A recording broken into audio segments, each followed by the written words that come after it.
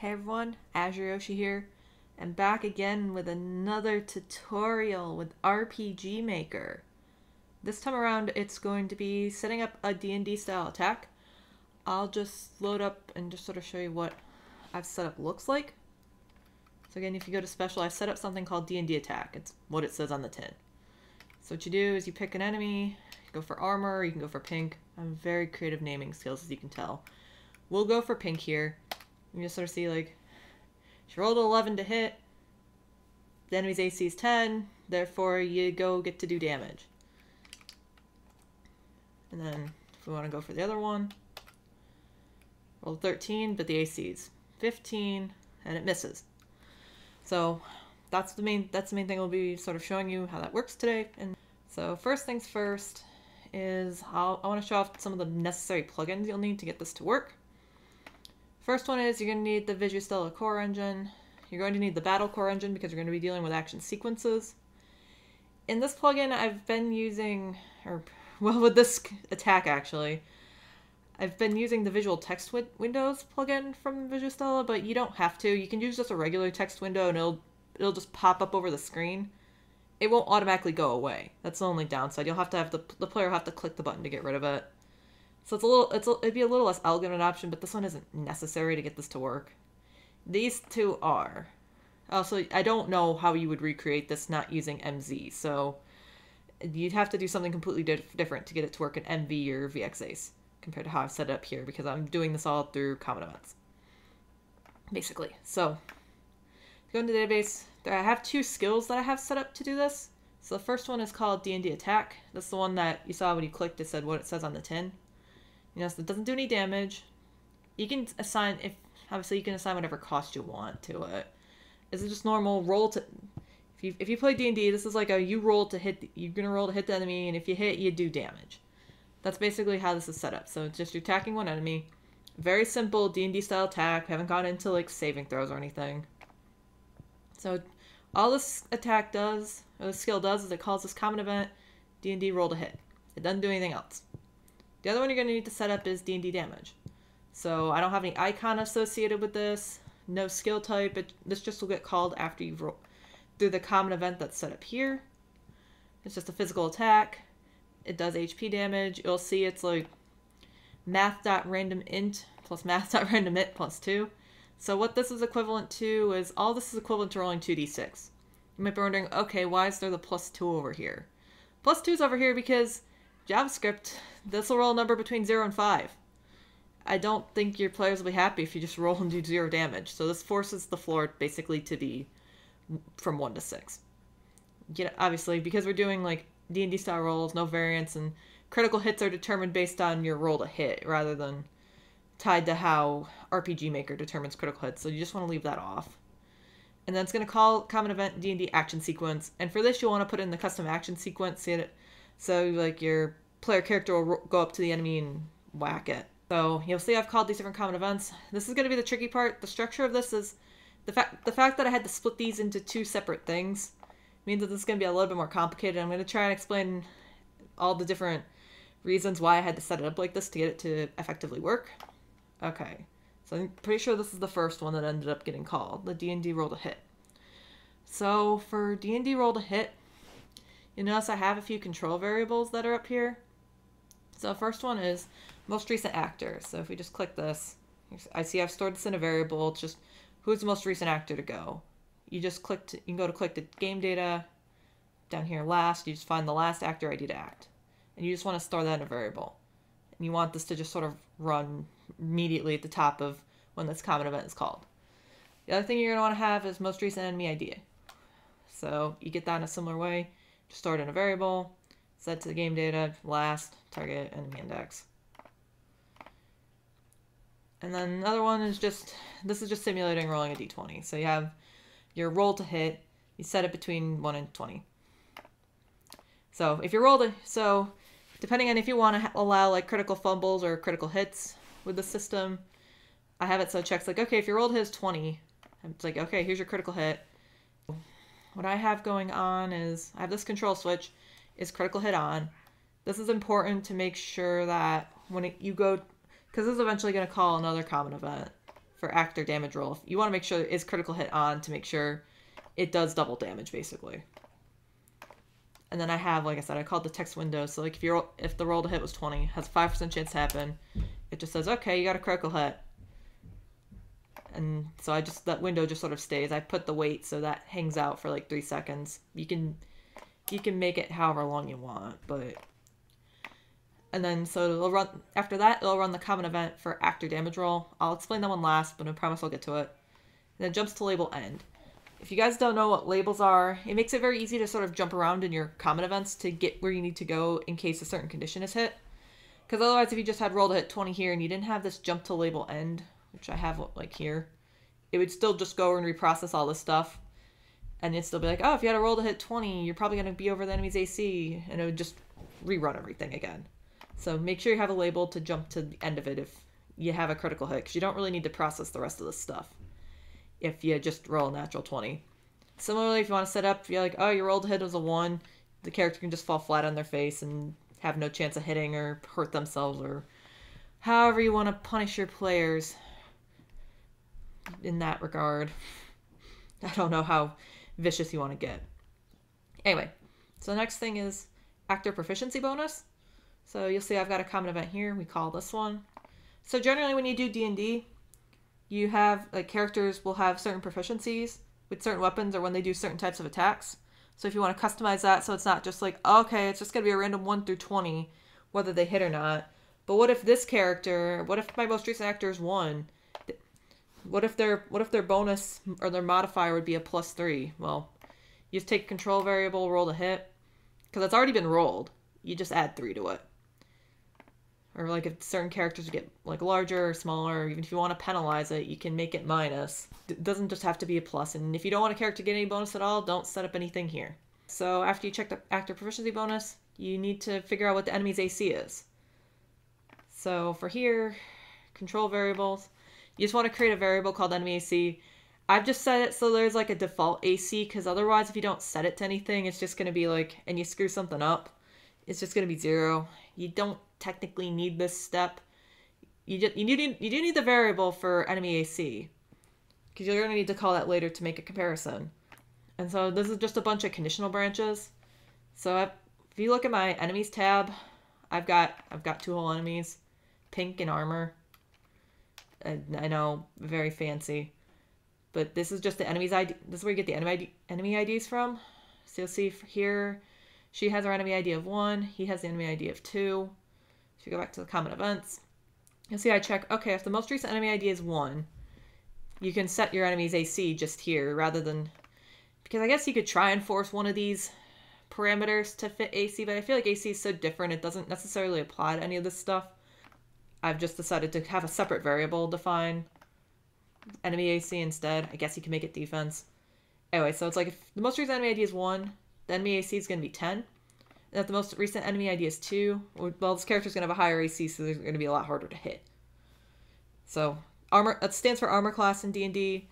I'm try I'm basically talking through this video assuming you know what Dungeons and Dragons style like the attack system is like mostly based on 5e. So, might be like why do you call these as common events? Isn't there an easier way to do it than to do it this way?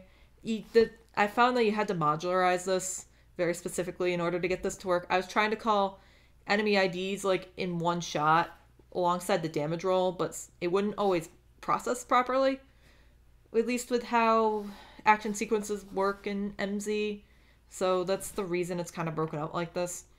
It also makes it easy to just sort of go in and make quick edits like, okay, I want to add in a most recent actor equals 3 and their roll to hit is blah. It's like, okay, I need to add in, I want to create a new enemy and I want to give them a different AC. You just go into this common event and do it. It's it's helpful for just breaking it up. Anyway, next step of the code. This is this is the fun D and D style part. If your enemy AC is higher than your roll to hit, you'll see okay. If the enemy AC is higher, it means your attack misses, and you're not gonna be able to do any damage. You swing and you whiff. And you'll see I have like this text window here. So I'll I'll show it off it. It has a few lines of code to it, but so first off, it has like you'll see forward slash n and forward slash v. These are these are text codes. So this is basically calling the variable for the most recent actor that I defined above and putting the forward slash n surrounding all of this just gives you the character's name. And then says rolls of V24, so this just confirms like, okay, this was your roll to hit after, and I say after modifiers because we've already modified that variable. The enemy ID is what? Is V21, so it's just checking your most recent enemy ID. I just mostly have this here as sort of a sanity check to make sure that, like, okay, like the enemy ID is appropriate. You don't actually need this, like, once you have your system, like, like if you want to have it someone else playing it, you don't need to reveal this information to them. This is just more for debugging purposes. And then your ACs and the AC is blah. Again, this is just another sanity check to make sure, okay, the variable is what I said it would be, good. And then you can sort of validate that, okay, the logic is working. Okay, if the AC is this, the roll to hit after modifiers is this, therefore it misses. It's just another way for you to visually see that, okay, the code is working. And then it says wait, and then it goes to actor damage roll. And then, okay, so the enemy AC isn't greater, so we're going to say the attack hits, and then you roll the damage. And for this window, it has the exact same logic to it, and it, I just say, like, okay, instead of, like, that misses, that connects. And then again, it goes to actor damage roll. You'll see here, this is why the window removes right after the 180 frames, because they'll just finish and immediately run this common event. So that's partly why that's partly why I had to break it up into two separate things and everything go into the common event to go to actor damage roll and separate it out. yeah, so all of these commands now go to actor damage roll, so I'll I'll just sort of go to this. So what this does is it again checks what your most recent actor is. So it's like, okay, was it was it number one, number two, number five? And then it just sort of calls like, okay, most recent actor is one, we're gonna force an action with this character. It's gonna it's he's gonna do the skill D and D damage. It's going to be on the last target because that's sort of who you chose when you wanted to actually do the attack anyway. You could technically make these different, so like to differentiate like weapon types, because assuming like one of the characters is a priest, she's gonna be whacking things with a stick. That's probably gonna do less damage than whacking things with a sword or a spear or an axe. So you could technically make these different so that it's not all these characters rolling for 2d6. That's part of why I like the system. You get a little bit of flexibility, but for the sake of demonstration, I tried not to make this any more complicated than I had to. okay, so everything goes to D&D damage. And if you remember, D&D damage was this thing over here. And it will call common event D&D action sequence, which is a custom action sequence. So this is the last one we have to show off. So I kind of like high level explained what action sequences were in the last in like when I was doing the action command tutorial. But it's basically the same thing. So you want to be like, okay, this first one is AC set, so it sets your action set. You need this before anything works. You want the character to go over to move to the target. If your critical hit is on, so that was a, that switch we set up before and we had the D&D roll to hit. It's like, oh, if you rolled a natural 20, turn the switch on. This makes this can make your action sequence a bit different. Like if you roll a crit,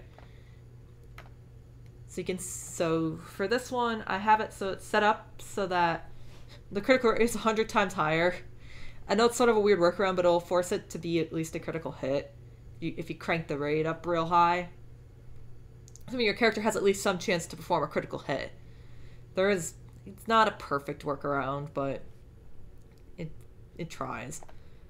And if you and if you find that that doesn't work, you can just make the attack roll multiple times yeah, for a critical hit, I have the character do something a bit flashier. The character jumps. They, they sort of like jump. I think I have it so they like flip. They like they jump, they attack, and they and they just sort of flip back, flip back around. Put in a wait just to make it look a little bit nicer. So this is just applying the action effect. So that's basically the rolling the 2d6 damage did the attack animation. And then there's another like pop-up that says, okay, you got a crit. Admittedly, with how I've got it set up now, just for debugging purposes, it's set, it'll specify a critical hit twice, but it's not. It's good to have that satisfying pop-up that says crit too. So, know, I'll put a, just a wait for 30 frames, and then jumps to the label end, which is way down here.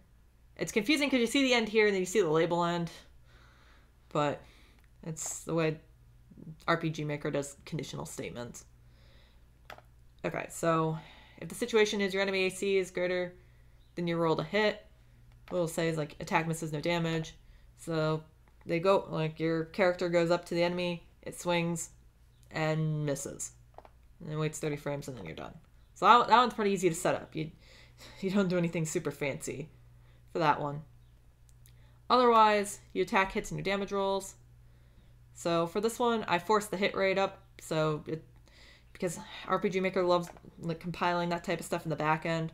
You can set up the roll to hit like it's like oh yeah that's nice. It gives you the logic for the D and D system, but you have to make RPG Maker system like actually work that way. So you can just forcefully crank the hit rate up so that yeah you're you're not gonna miss. It's fine. I think I also did that for yeah I, made it a hundred times to make sure like the the hit rate is actually like realistic or make sure you don't want to have a critical hit and have the character miss you, you don't want rpg makers mechanics to like leak out yeah so this one you, uh, you go up to the enemy pop up for hit happens it applies the action effect wait 30 frames and it's done so at the end of this i have the control switch so it goes is critical hit turns that back off so we don't want to accidentally leave that on because otherwise if a character gets one critical hit they're always going to critical hit even if the roll isn't a 20 and then this is just your action sequence set. You finish off the actions, you reset everything. So yeah, that's basically how you do it. I know that's not exactly in a simple tutorial, but you can do you can do a rolled hit D&D style system in RPG Maker.